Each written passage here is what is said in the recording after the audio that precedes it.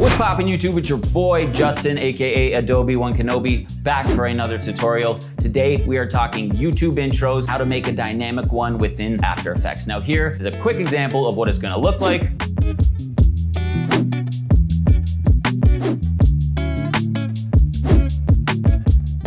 If you like the looks of that intro, stick around for the whole video so you can figure out how to make it from scratch. If not, I will have the project file for this exact intro in the description below, so feel free to check that out as well if you're in a time crunch and you don't have time to start from scratch. Now, with that being said, do me a favor, hit the thumbs up button. I know you're gonna like the video, I can almost guarantee it. And finally, if you haven't already, hit that subscribe button. We've been posting every day or so, and I don't plan on stopping. So if you don't wanna miss any of the content, hit that subscribe button like I said, and let's get right into the video. All right, so go ahead and open up After Effects and we're gonna create a new composition with the width at 1920, height at 1080, frame rate at 23.976, and we're just gonna name it and make it 20 seconds long. Then I'm just going to create some folders to keep my work organized.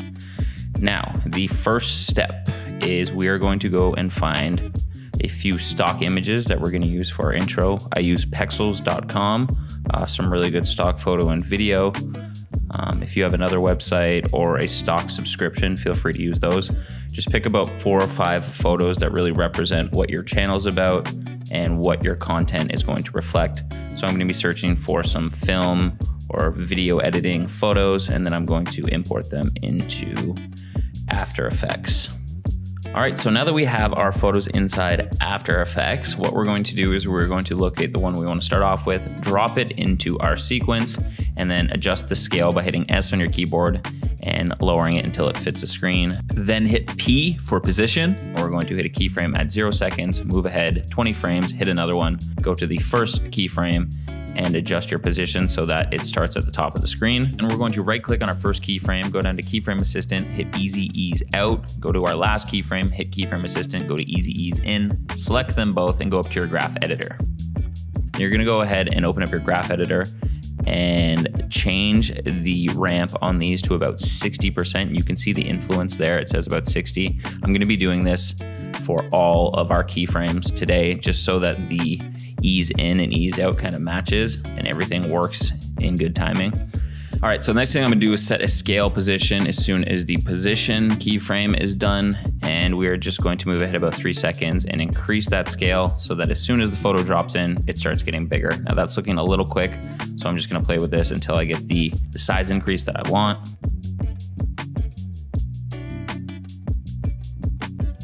That looks about good.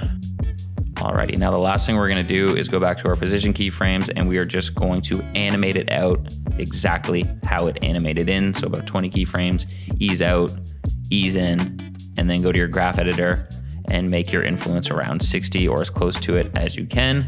And there we go, we have a nice animation out that looks exactly how it did when it animated in. Now we're just going to cut the clip at that last keyframe there by hitting Shift Command D if you're on Mac and we're gonna do the exact same thing with the next photo. So I'm not gonna go over it in detail again, but just repeat these steps we just went over for the first photo and do the exact same thing for the next four or five photos.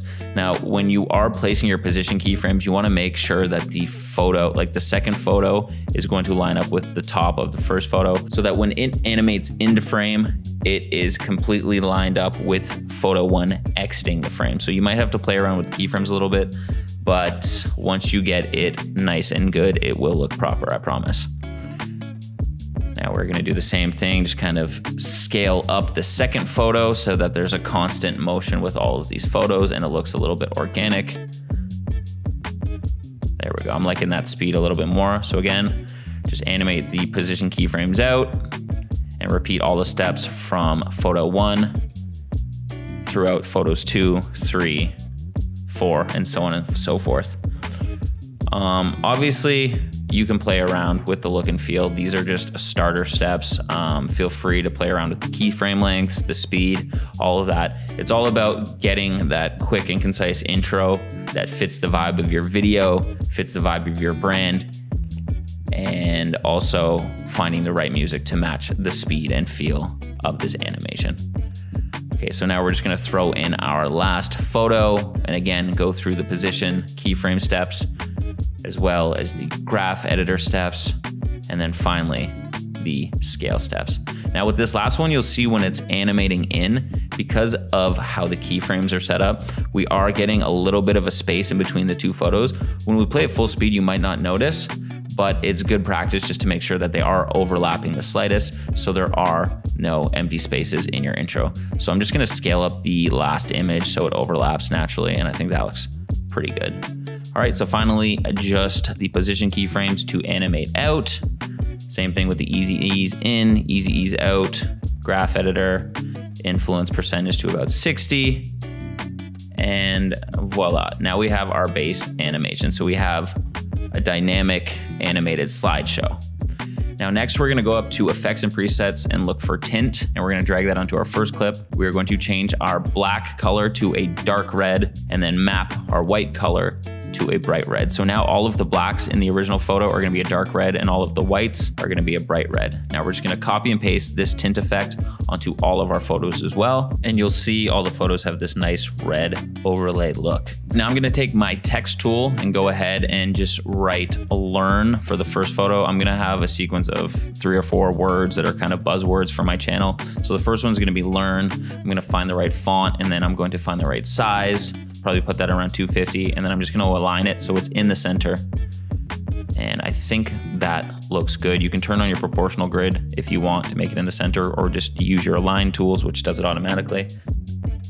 All right, so now that we got our text in place, what we're gonna do is drop down the text menu and we're gonna hit this little triangle icon beside animate and go up to position. And then we're gonna scale our position down hit a keyframe at the start of our clip, and then bring it back to zero so that you see it's kind of animating up in the opposite direction that the photo is sliding down. And again, ease in and ease out our keyframes, and then go into our graph editor and set the influence percentage to 60%.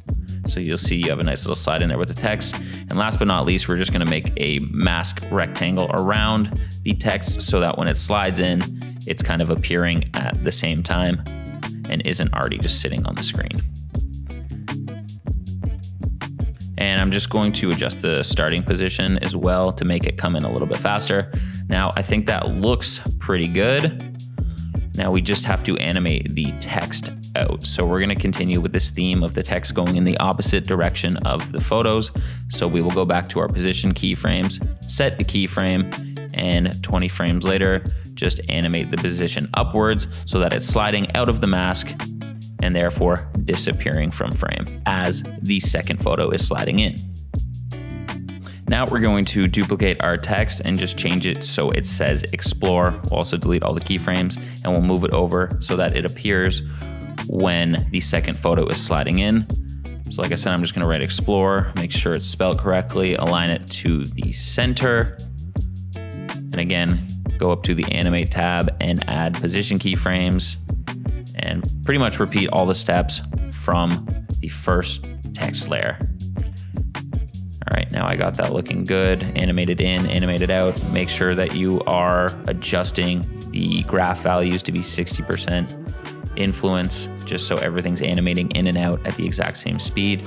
And we're gonna do that for two more texts I'm going to make the third one say create and the fourth one say Justin Serran, which is just my name and the channel name. And finally, once that's all done, I'm gonna go up to effects and presets and search drop shadow and drag that drop shadow effect onto one of our text layers. Change the opacity to 100, the softness to around 78, just so we get that dark glow behind the text that really makes it pop and stand out. And then we're just going to change the color of the drop shadow to a dark red and then copy and paste that to all the other text layers so that they have the same aesthetic. Make sure that your motion blur is set on all of them and voila, we pretty much have our entire intro and it's looking pretty great. Obviously the, the photos and the color that you pick for the overlay are going to make a huge difference. And now finally, we're just going to go to a, any music sourcing website and find a song that fits the energy for our edit, drop it into our timeline, and that, my friends, is how it's done. And there we have it, folks, a dynamic YouTube intro that you can make in After Effects within about 10 minutes from scratch. Now, super cool. Feel free to play around with some of these techniques I talked about and make your intro yours. One tip I would suggest is keeping it a little bit slower because we all have the attention span of goldfish. And if your intro is a minute long, you're risking people clicking off of your video. And that is exactly what we don't want when trying to get YouTube views. Now, with that being said, if you enjoyed today's video, please hit the thumbs up button. Let me know in the comments what you liked or what you want to see going forward. And finally, if you haven't already, hit that subscribe button. We're posting every day or two, and I don't plan on stopping anytime soon. And I don't want you to miss that content, baby. So without further ado, I'm Justin, and I'll see you next time. Peace.